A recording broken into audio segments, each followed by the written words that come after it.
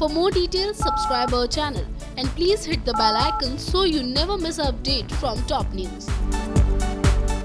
तो हाजिर हैं, एक बार फिर से हम आप सभी के लिए एक और बहुत बड़ी अपडेट को लेकर, जो अपडेट जुड़ी हुई है, ये रिश्ते हैं प्यार के से वेल स्टार प्लस पर हाल, फ़िलहाल में भी शुरू होने के बाद, और ये रिश्ता क्या कहलाता है का स्पिन ऑफ़ सीरियल यानी ये रिश्ते हैं प्यार के ने बहुत कम टाइम में दर्शकों के दिलों पर बहुत सारी जगह बना ली है। ऐसे में खबरों की माने तो इस शो के आगे आने वाले एपिसोड में आप सभी को देखने को मिलने वाली है। अबीर और मिष्टी की नई कहानी, जो बिल्कुल वहीं से शुरू होगी, जहाँ से इस पूरे शो की शुरुआत हुई थी यानी कि बस से।